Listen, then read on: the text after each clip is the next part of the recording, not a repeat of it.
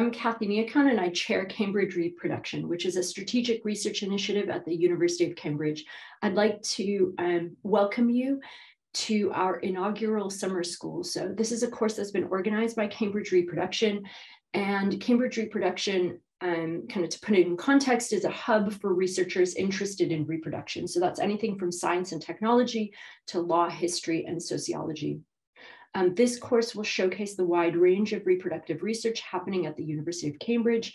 It's organized around three overarching themes, reproductive justice, health and well-being across generations, and futures of reproduction. We'd like to provide a holistic, multidisciplinary perspective for each of these themes, which is why you'll find lectures from a wide range of disciplines on each day, which we hope um, will be informative for you. And as a reminder of how the course work, all of the pre-recorded lectures will be available on a platform called Moodle um, for each of the themes. Um, and in addition to this, um, there'll be um, a dedicated um, session on Zoom for a live Q&A session with um, each of the lectures associated with the themes. So you can watch the lectures at your own time. You can watch them over again. Um, and then you're also very much encouraged and welcome to join these live uh, Q&A sessions to interact with the lecturers and, and each other.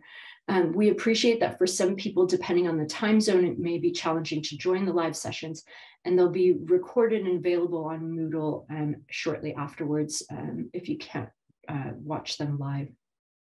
Um, unfortunately, the uh, Monday's Q&A session has had to be rescheduled to Tuesday because of um, Queen Elizabeth's funeral, which will be held on that day. So now um, Monday in the UK is a public uh, holiday and the university has suspended its activities to allow staff and students to observe the day of national mourning. So we apologize for any inconvenience um, that this has caused and um, at such short notice. Um, but we hope that many of you will still be able to attend the live Q&A session associated with the first theme, which is um, reproductive justice. We encourage people to interact with the content and other participants as much as possible. And in particular, we'd like, you, um, like to collect questions for the Q&A sessions in advance if possible.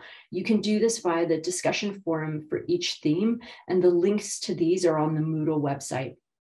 Uh, we also encourage you to uh, please introduce yourself in the general discussion forum on Moodle um, and please do say where you're from and what your interest is in reproduction. Uh, we'd really like to um, learn from you um, what kind of um, uh, topics are of interest and, and, and why um, you've attended the course.